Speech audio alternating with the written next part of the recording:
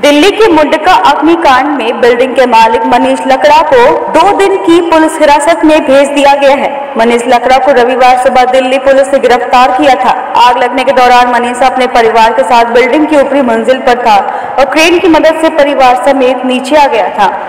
bureau report I